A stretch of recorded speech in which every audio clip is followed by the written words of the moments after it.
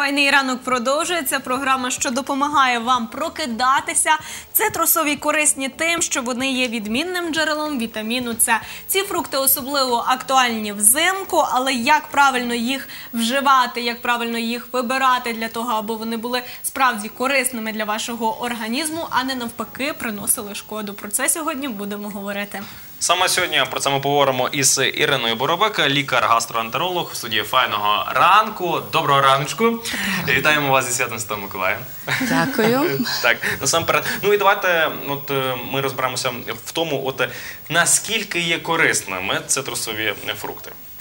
Ну, взагалі хотіла б розпочати з того, що цитрусове це дуже велика така родина. І сюди відносяться так, як ми вже всі звикли. От сьогодні особливо це актуально. Це мандарини, це апельсини. Також не забуваємо про лимони. А також є такі так звані гіркі цитрусові, той самий грейпфрукт, е, далі лайм, памело. І це величезна група, якою справді всі насолоджуються найбільше зимою. Ну, для цього є кілька підстав. Перша підстава це така, можливо, прагматична, тому що урожай збираються е, цитрусових якраз кінець осені, а зберігаються вони доволі добре, і через то ми найбільше їх споживаємо власне зимою. Логічно, так. Е, З іншого боку, якраз зимою в нас є трошки обмежена можливість споживати е, свіжі овочі, фрукти, якраз в їхньому е, такому природньому. Виді, а не вирощених в теплицях. І якраз цитрусові відповідають всім цим вимогам. Вони з одного боку дуже добре зберігаються, з іншого боку зберігають всі свої корисні властивості доволі тривало. Ну а про користь, та давайте ми вже поговоримо. От наскільки вони корисними Ну, навіть ви з того почали, що вітамін С це е, основний складник е, е, цитрусових, і власне із-за цього його всі найбільше й полюбляють.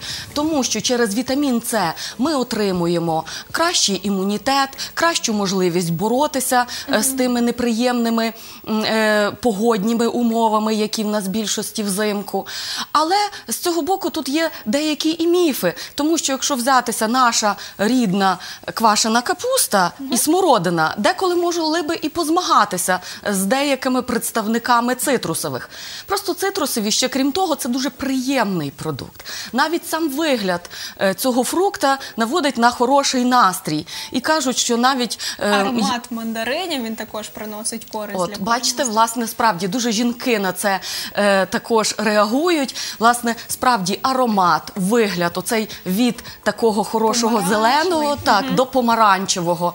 Е, він допомагає покращити настрій, боротися з депресією, а також є навіть велика кількість м, можливостей лікування ароматерапією. Це покращує якраз загальне самопочуття і працездатність. З іншого боку, е, е, якраз цитрусові також містять і клітковину.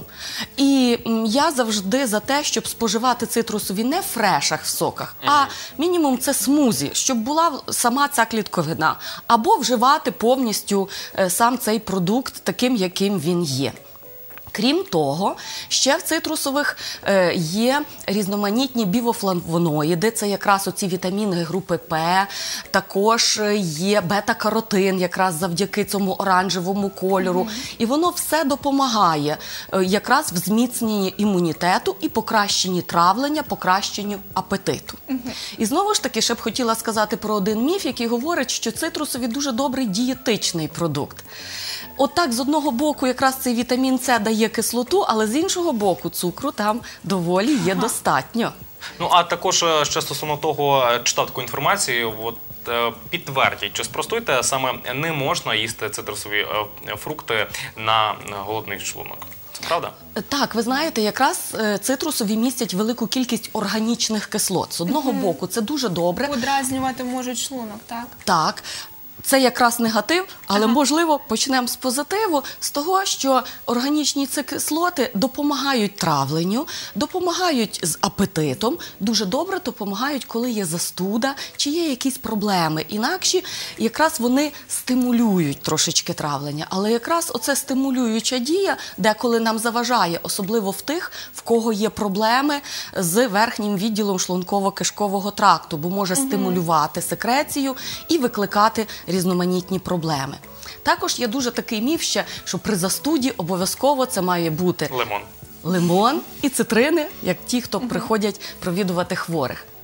Е, Тут є е, також дві сторони. З одного боку, в перші дні це дуже добре, тому що цей напій е, дуже добре якраз забирає це зневоднення, яке нам потрібно, виводить якраз якісь неприємні токсини з організму. Але з іншого боку, вже коли кілька днів застуди, коли починає боліти горло, коли починає пекти в горлі, першіти, вживання якраз цитрусових і лимонних, наприклад, у ті самі е, лікарі лор е, забороняють, тому що Це може подразнює. усугубити. Так. Пані Ірино, ще от стосовно цього питання кажуть, що вживання деяких ліків в поєднанні з цитрусом з цитрусовими вельми небезпечне. Мовляв, що якщо в комбінації з цитрусовим, то організм приймає одну таблетку за декілька, і як наслідок е, може бути передозування. Чи справді це так? Ви знаєте, взагалі навіть в класичних книжках по фармакотерапії і по фармакології здавна пишеться, що вживання особливо грейпфрутового соку є небезпечним. Чому? Тому що грейпфрутовий сок сік, коли поступає в організм, він потрапляє в печінку. А печінка це те місце, де знешкоджується більша частина всіх медикаментів, і він блокує так званий цитохром. П. І якраз завдяки цьому блокуванню іде передозування препарату в крові. І тому ми можемо чекати один Результат. ефект, так, а можемо мати навіть передозування. Це стосується особливо тих, хто приймають препарати е, при захворюваннях серцево-судинної системи.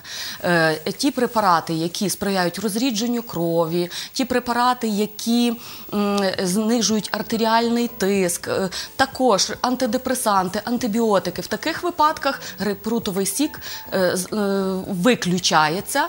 Взагалі грейпфрут, памело, лайм тоді виключається, і по мінімуму соків тоді потрібно цитринових. І взагалі дуже неправильно, коли запиваються медикаменти соком. От якраз навіть звичайний парацетамол чи ацетамінофен ні в якому разі е, е, апельсиновим соком не потрібно запивати. І іншим також соком. не Також не рекомендується. варто. Ліпше, звичайно, водою. Водою. Ось ви зазначили про те, що при е, захворюваннях, при грипі, так зазвичай е, приносять саме оці цитрусові фрукти е, для хворого. І я хотіла уточнити ось чай з лимоном. Деякі фахівці рекомендують знімати попередньо шкірку з лимона і вже потім вкидати в чай, тому що чому? Давайте пояснимо. Ви знаєте, тут є багато е, знову ж таки думок з цього приводу. Ну, в першу чергу, те, що шкірка, особливо біла її частина, містить гірчинку, якраз таку, яка не завжди подобається, і особливо це видно у цих гірких цитрусових. Е, щодо Лимона, то в цедрі, що лимона, що апельсина, міститься не менше корисних властивостей. Але тут є свої негативи. Е, Так як ми живемо в великому світі е, і є різні промислові виклики, е, фрукти повинні довго зберігатися.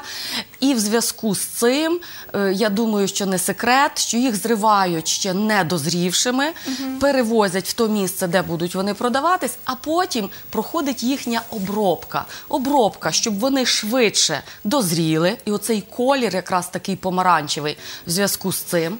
Далі проходить обробка протигрибковими препаратами, щоб вони не псувалися.